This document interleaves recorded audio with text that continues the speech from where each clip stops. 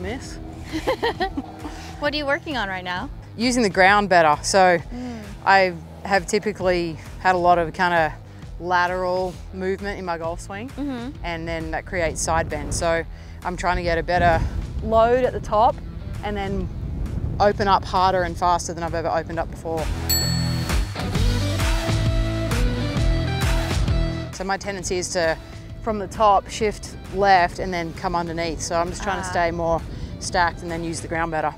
For all your clubs or just? Yeah. Yeah. Obviously, the longer the club gets, um, the more kind of side bend I get. And you can get away with it with driver because it's teed up. but Right. But I I'm guess if it's on the ground. Yeah, exactly. How about you?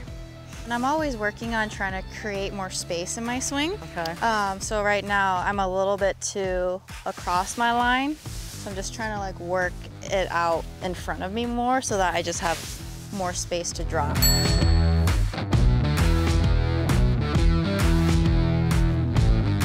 Because I'm more like a hands and arm release swing. Okay. Yeah, so if I'm over here, I just kind of get stuck. Yeah, fair enough. And then I kind of, the dreaded two-way miss. yeah.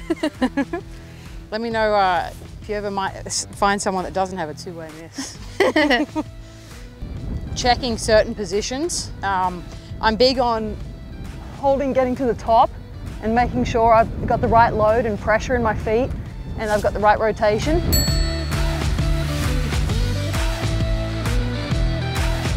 And actually even repping it more slow um, just to make sure you're more aware of reaching those positions. So quite often I'll get to the top and then swing through at like 50% speed in order to make sure I understand where I need to be.